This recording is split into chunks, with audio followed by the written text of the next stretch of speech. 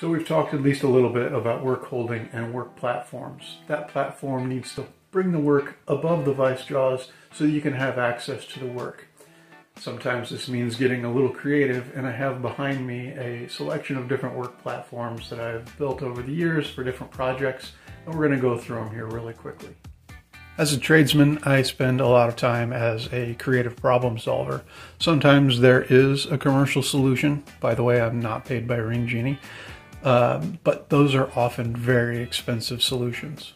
Sometimes you need to engrave a putter, and so you create a platform that uh, will hold that putter. Sometimes you need a bracelet, and so you buy a hockey puck that will uh, create the internal diameter of that.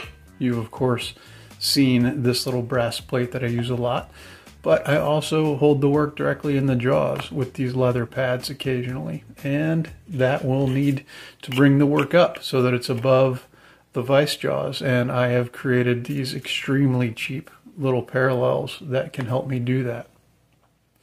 And other times I have knife scales or uh, bracelets that are engraved flat, and so I have these aluminum blocks that do that as well. And then sometimes you just need to draw under the microscope, and I've created this little leather platform that helps me hold that work above. If you're enjoying this kind of content, please check out my Patreon, and if you just like my work, come look at the items in my store. Thanks again.